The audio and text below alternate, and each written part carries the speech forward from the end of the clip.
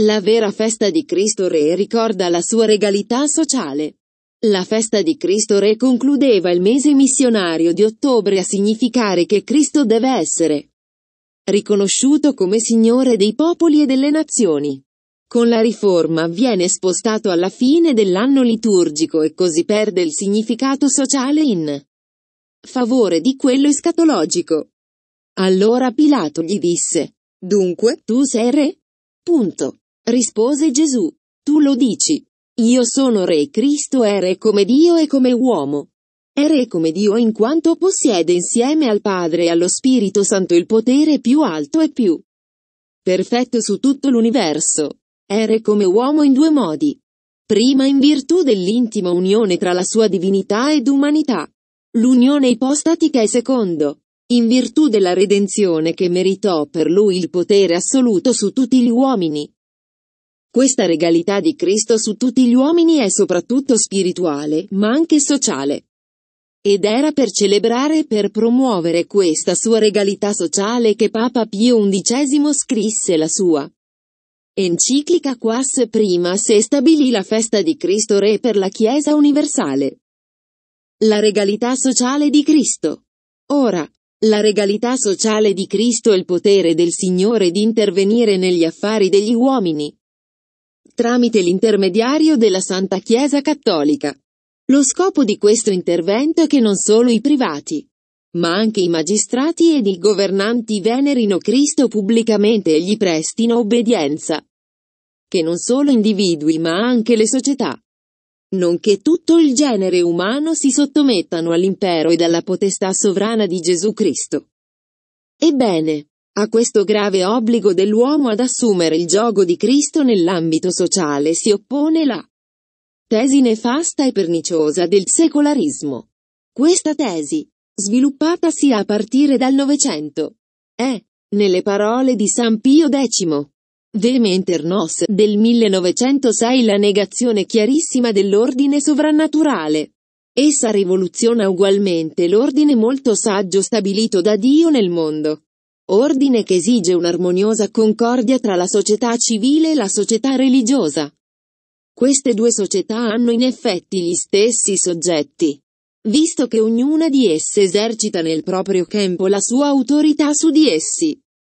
La laicità dello Stato infligge gravissimi danni alla società civile stessa. Perché non può né prosperare né durare a lungo, quando non si crei un posto alla religione? Chiesa e Stato. Purtroppo questa opposizione alla regalità sociale di nostro Signore Gesù Cristo è entrata fino a un certo qual grado anche nella mente di certi uomini di Chiesa, cioè nella loro prontezza di separare la Chiesa dallo Stato.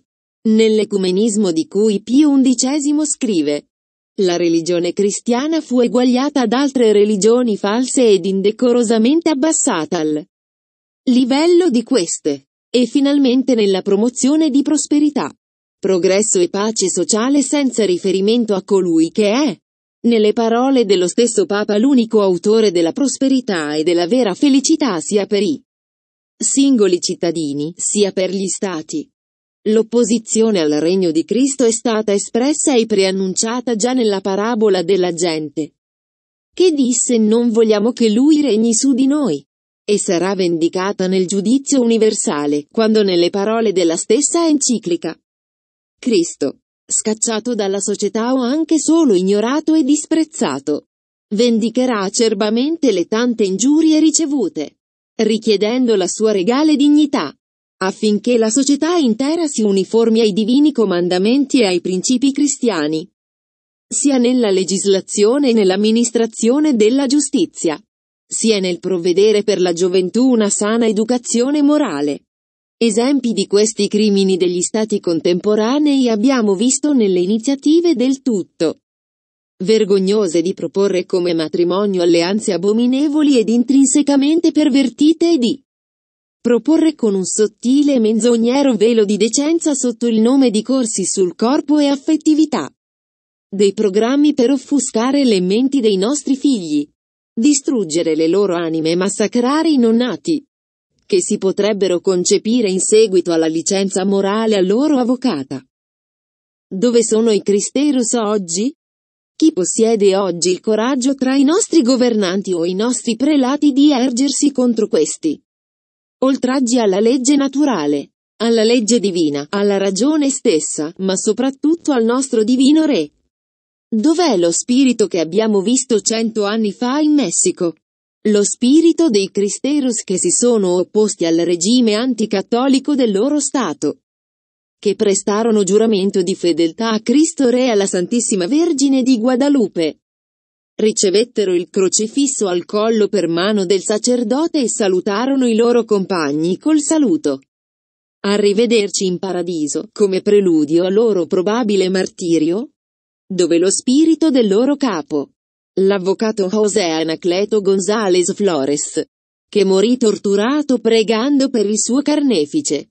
Lo spirito espresso nel suo testamento nelle parole seguenti. Gesù misericordioso. I miei peccati sono più numerosi delle gocce di sangue che versaste per me. Non merito di appartenere all'esercito che difende i diritti della vostra Chiesa e che lotta per voi. Vorrei non aver mai peccato in modo tale che la mia vita fosse un'offerta gradevole ai vostri occhi. Lavatemi dalle mie iniquità e purificatemi dei miei peccati. Per la vostra Santa Croce, per la mia Santissima Madre di Guadalupe, perdonatemi. Non ho saputo fare penitenza dei miei peccati. Per questo motivo voglio ricevere la morte come una punizione meritata per essi. Non voglio combattere, né vivere, né morire, se non per voi e per la vostra Chiesa. Madre Santa di Guadalupe accompagnate nella sua agonia questo povero peccatore. Concedetemi che il mio ultimo grido sulla terra ed il mio cantico nel cielo sia, viva Cristo Re.